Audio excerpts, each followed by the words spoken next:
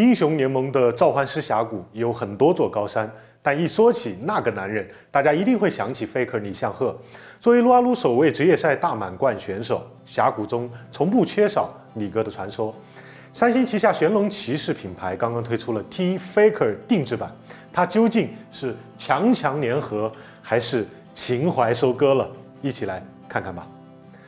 三星 G7 Faker 定制版的包装盒上有 Faker 的签名，附赠有 Faker 头像卡纸和 Faker 手办兑换码。手办四种形态随机寄送，可在 SKT 官网兑换。开机界面，Samsung 和 T 的 logo 并列居中，UI 界面也特别定制。那显示器右下角、背面、支架都印着 T 的 logo 和签名，作为联名款，由内而外诚意十足。G7 外形简约，但细节处处酷炫。屏幕底部两侧各有一条 RGB 灯带，分别向前和向下开窗。黑暗环境中，RGB 色彩呼吸般律动。显示器贝壳做出了碳纤维的质感，条状纹理向中央汇聚，居中的就是非常拉风的 RGB 氛围灯环了。支持五种模式，五十二种调色。乍一看还以为是环太平洋里机甲战士的涡轮发动机，有一种科幻感。接口全部隐藏在挡板里，分别是三点五毫米耳机孔、HDMI 二点零、两个 DP 一点四、一个 PC 音、两个 USB 和电源接口。资深游戏玩家一定要使用 DP 一点四接口，才能获得满血的高刷表现。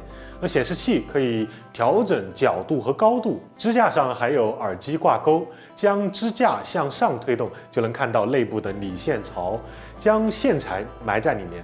不光正面看不到线，背面也一样极致简约。外观满分十分的话，你觉得可以打几分呢？欢迎弹幕走一波，我觉得打九分没毛病。G7 Faker 定制版的屏幕参数和标准版一致，三十一点五英寸，二五六零乘幺四四零二 K 分辨率，而屏幕曲率达到了一千 R，这也是最贴合人眼球的这个弧度大小。三十一点五英寸，如果是平面哈，就会有边缘的视觉盲区。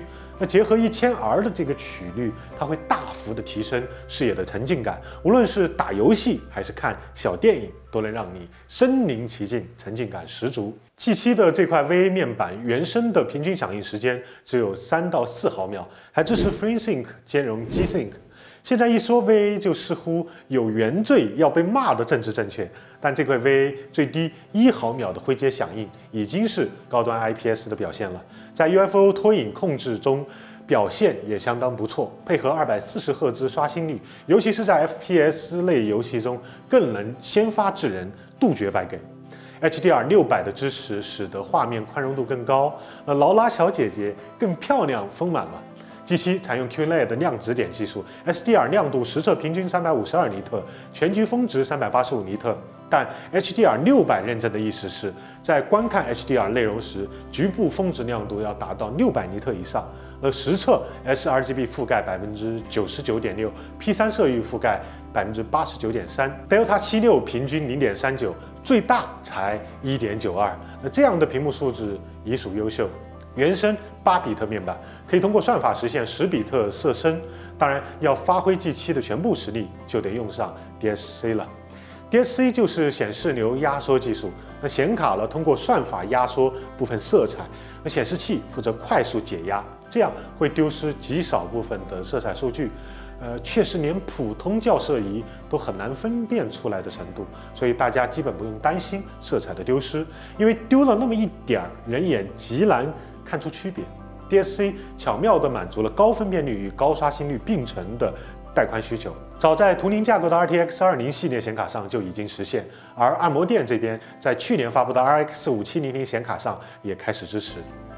现在到京东支付定金一百，它可以抵八百，那五六九九到手，和普通版售价基本一样了。无论是最基础的这个硬件参数，还是外形设计上的细致考究。三星 G7 足够诚意，还有 Faker 的年龄加持和定制手办，不知道屏幕前的游戏玩家你动心了吗？好了，以上就是本期三星 G7 玄龙骑士 T Faker 定制版的全部内容了。觉得视频还可以的话，欢迎点赞、投币、收藏、转发。没有关注的朋友可以点个关注。我是沐晨，那我们下期再见。